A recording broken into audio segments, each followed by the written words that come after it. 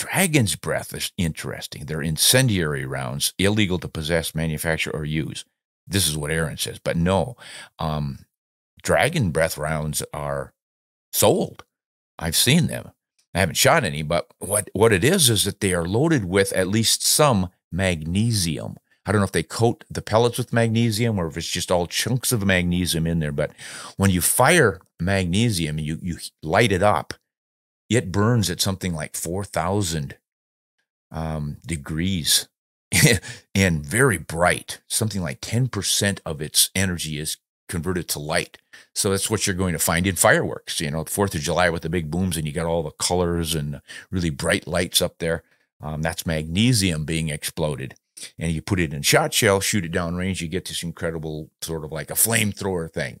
And they're illegal in many places because of the fire danger. But they sell them